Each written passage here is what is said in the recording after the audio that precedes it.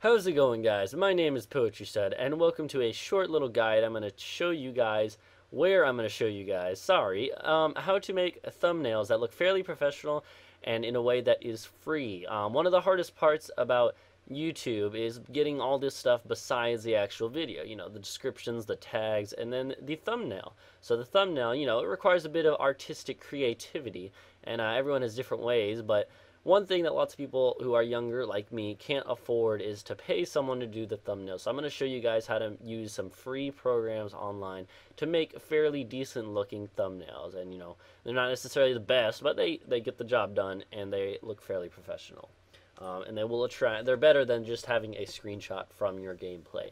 So, um, let's say that I'm going to make a, if you don't know, I do a lot of EU4, Europa Universalis 4 on my channel. Let's say I wanted to make a thumbnail of this game. So first off, we need to find the base for our thing. So normally what I do is, I um, when I make a thumbnail, I look for maybe like a logo or a, uh, a screenshot that kind of sums up the game in general. That'll interest people's eyes. So let's see, if I'm going to do a guy a uh, thumbnail no guide not this that's what this is thumbnail if i'm going to do a thumbnail uh, of Europa Universalis 4 I look for I just type in the name of the game I go to images and here we go. See, like logo. Now stuff like this I like because it's simpler. It doesn't have when you go when you see stuff like this lots of it you know if you put text on that it's not going to pop out at you. However if you have something like this right here you could see it'll give it a second. Yeah so you could see if you put your stuff right here like your name of your channel and then the name of the series you can fit that in and also it'll pop out off of that background if you use the right color. So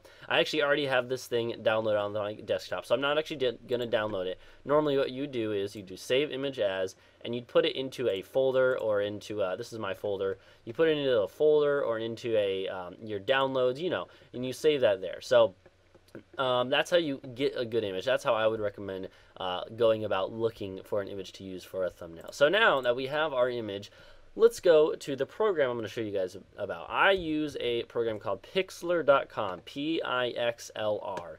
Um, it's a fairly simple program to use. It's free. It's basically like a cheaper Photoshop, and I would recommend it any day to someone who doesn't have Photoshop. And I actually do have Photoshop now uh, through my school, but it is um, it's still a good program. So you get to this screen, and they're probably going to update again in you know a couple months, but it'll it, it should look something like this.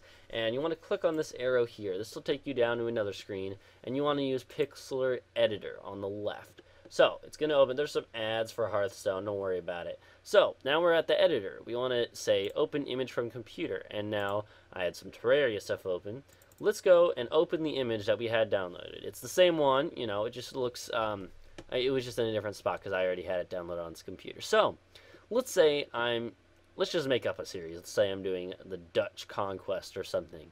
Basically, it's you can see it's fairly simple. You have all your tools here. We don't really need to do anything except add some text. And that's actually one of my tips. Um, having done quite a bit on YouTube now over the past year or so, I've learned that just, you know, having the name in fairly easy to read text is a major part. So we want to, of course, have a text that is interesting looking. Um, I don't actually know the text on this new computer that I have very well, but um, this is for you to decide. You can download some custom text online. There's plenty of websites where you can get cool text that you like. I'll leave that up to you. So I'm just going to use a random one and say, let's say poetry stud. Oh, this is, uh, let's use a different one. And we'll make it bigger. That one looks cool, I guess. poetry stud plays. We'll just you know say that. That's normally I don't I'm not actually I wouldn't actually call it this if I were gonna do it, but I'm just showing you guys the basics, and then we can increase the size, and we can change the color. Let's make it like blue or something. Uh, blue, blue, please. I don't know why it's not working. Oh, that's why. Haha, I am dumb. So let's say that we wanted to do like this. We say, you know, we can make it bold to make it pop out a little more. Uh, we could change the script and look at them. So, you know, just pick something that you like, something that stands out, and something not necessarily too uh, fancy or anything. So I like this one. This one is kind of cool looking. Um, you know, it's not necessarily big enough, and there's only a there's a size limit. But luckily, there's a way to get around this. If you go to Edit, and uh, let's see, we got to make sure we have this selected. We go to Edit, and then we go to Free Transform I believe. Did I click the right button? Uh, I believe I did. One sec, guys. I must have forgotten what I'm doing. Okay, guys, sorry. I figured it out. I had to take a second because to refresh myself because I haven't used this program in a while, actually. Uh, first, what you need to do is you got to click, right-click on the layer that you have the text on and click rast rasterize layer. I'm not sure how that's supposed to be pronounced. Rasterize, rasterize.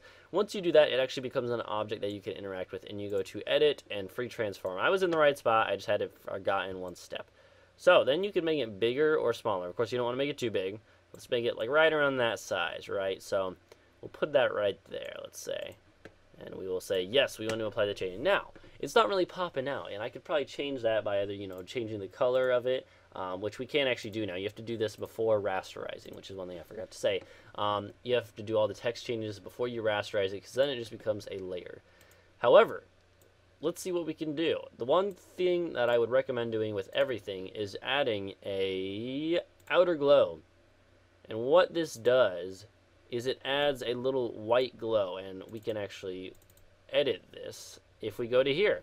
And this is one of the main one of the main things I would recommend. You gotta I would recommend adding the size or the you know the different stuff, but um I would say keep it like to a basic color, like white. And look at that, that just makes it pop, and it makes it look really, really nice against that background.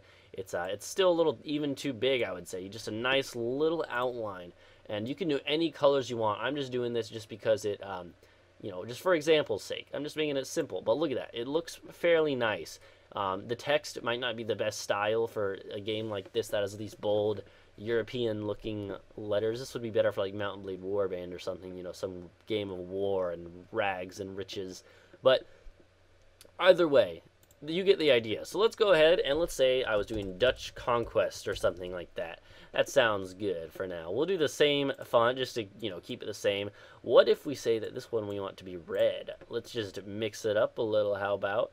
Does that sound good to you guys? Okay. So, we're going to do the same thing here. Remember, free transform after rasterizing. We'll make it a little bit bigger. Right about there. We want to just keep it simple. We don't want it to take over everything, but we want to, uh, you know, keep it here. And in fact, one, one sec, actually. Um, let me make it a little smaller, and I'm going to tell you guys why. The reason why is because what if we want to put, like, the number of the episode in the corner, you know? That's something that lots of people do, and some people don't. Some people do. I do it sometimes. It just depends. But um, yeah, so remember, we go now to Layer Styles, Outer Glow.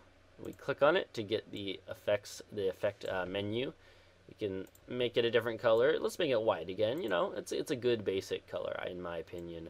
Uh, we make it harder so that it pops out more. It's a more of a contrast, and you know, and then we could add, you know, like number number one or episode one, something in this uh, in this side of the screen that we could add here to make it, you know, clear, more clear, what exactly they're watching, what episode your viewer is going to be watching, and um, you know, this can be a very nice little touch to add because they don't have to, especially if you have a longer title. If you have a longer title where they won't be able to see the number necessarily uh, right off the bat without having to hover over it and wait for it to show. This is a good way to make it so that your viewers don't have to wait for that. They'll be like, oh, this is where I was. I know because I saw the number. And look at that. There we go.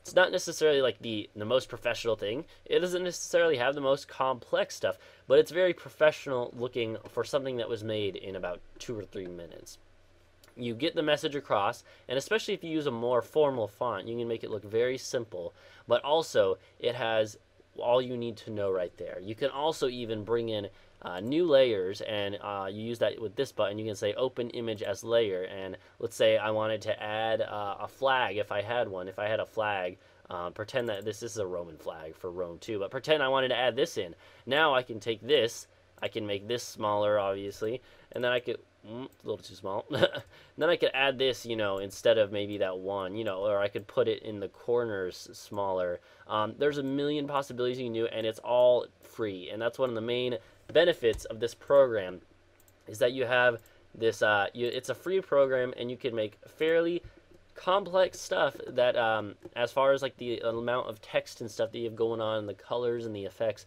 But it's still simple to make. And that is what I'm going to leave you guys with. Hopefully, this helps you if you are a smaller person on YouTube trying to get big and you need some help with the thumbnail aspect because it is definitely a big part with uh, search engine optimization and drawing some people in and keeping people interested in clicking on your videos. Um, it's not necessarily the biggest thing, and I would say, I always say, you know, just do the, what you love the most, and that's the main important thing. But hopefully, this helps you if you were looking for help. Thank you for watching this short little guide. Hopefully, I have helped you. Uh, let me make sure uh, my recording is still going. Go ahead and uh, go to leave a like and subscribe for more. And thank you guys for watching. And if you have any questions, uh, you can let me know in the comments and I'll try to help out. Goodbye.